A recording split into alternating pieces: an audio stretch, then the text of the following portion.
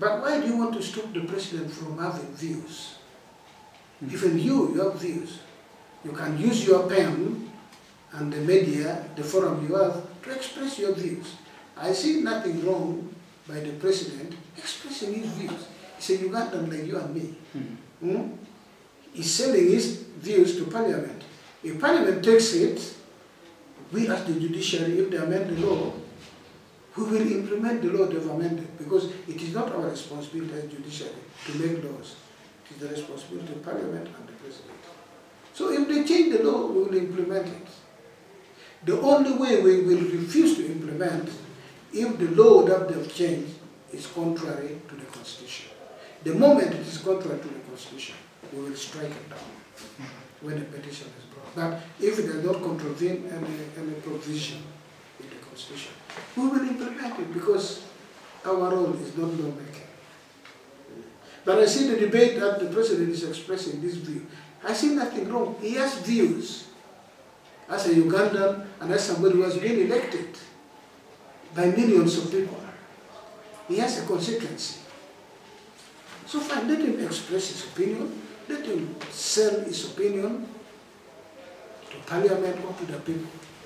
If they take it and the law is harsh, but it does not contravene the constitution, we will implement it. That is our mandate, implement laws made by parliament. But if, if he sells his views and they amend, amend a law contrary to the constitution, I'm sure you'll run to the constitutional court. And if we find it is contrary to the constitution, we will strike it down. But we cannot strike down that law has been amended. No. We only strike it down if it contravenes the constitution. So I think let us get away from this debate. The president is saying this, why not? You can also say this. And then it is debated. If, if the president will come and say, today I've amended the law, oh yes, I would say no. Mr. President, you have no such powers. You, can, you cannot act by decree. I will tell you. But he's expressing an opinion. You Let the head of state express his opinion for the reason I've given you as a Ugandan and as head of a country. A person has been elected by millions of voters. He has a constituency.